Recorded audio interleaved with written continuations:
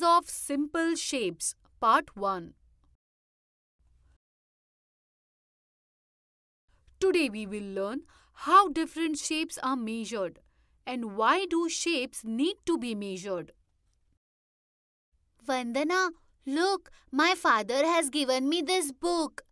Oh, this is a very big book. I too have a big book. See this. Yes, it is also a big book, but my book is much bigger. No, I think my book is bigger than yours. Look, my book is bigger than your book. Look, from this side, my book looks much bigger. Oh, yes, my book is bigger from one side. And your book is bigger from this side. Then, whose book is bigger? Let's ask Madam. Yes, let's go. Madam, we have to ask you something. Sure. Madam, we have these two books. We have to know which one of these two books is bigger. That is very easy to find. Vandana and Neha, you try to find out which of these two books occupies more space. But how will we know which book is bigger? Different shapes are measured based on how much space they occupy. Both these books are a quadrilateral, meaning they have four sides or edges. Madam, it means that to find out which one of these two books is bigger, we have to find out how much space it occupies. Yes. But madam, how can we find out how much space a shape occupies? It is very easy to find out. For this purpose, we use square-shaped pieces. You can also make these pieces using paper, cardboard or plastic. I have square-shaped pieces made of plastic. All the sides of these pieces are 5 centimeters each. You take these pieces and place them on these books in such a way that it covers the whole book so that the pieces remain within the boundary of the book.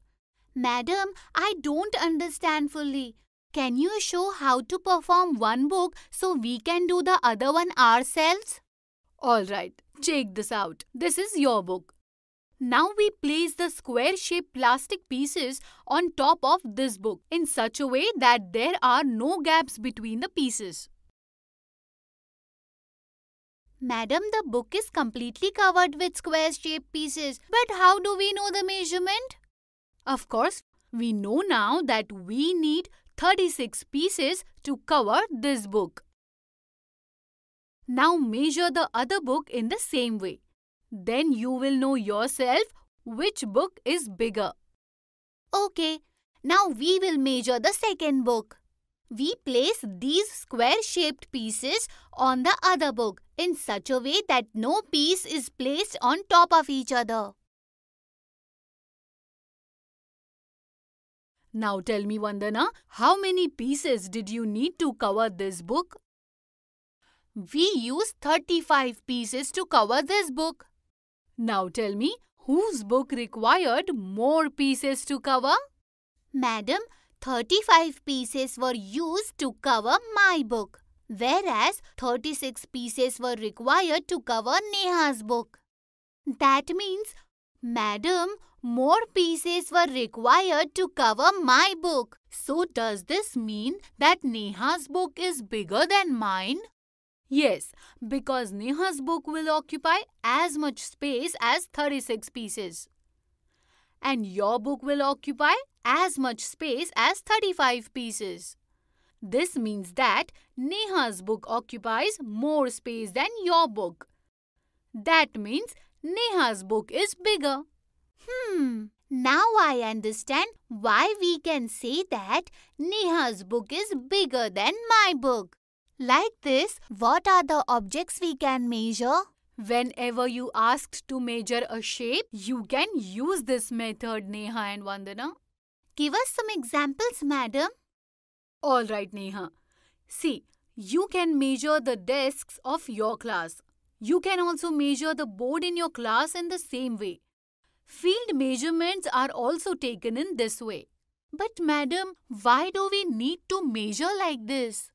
See Vandana, every object has a different purpose and that purpose defines how the object will be measured. For example, when making your class desk, special attention is paid to all the things that will be placed on it. The more items that can be placed on it, the more useful it becomes. So, to measure your class desk, we will measure how much space it occupies. Similarly, the efficiency of a farm depends on how many plants can be planted in it. If the field is small, it occupies less space, then fewer plants can be planted on it. And if the field covers more space, then more plants can be planted on it. Therefore, to measure a field, we will measure how much space it occupies. Understood, madam. Madam, can you give us these pieces? We will measure a lot of objects with this. Why not, Vandana? Keep this with you and measure different objects with it. Thank you, madam. Now we can measure many objects. Today you learned that to measure any shape, we find how much space it occupies. And to measure some items like fields, desks, etc., we measure the area they cover.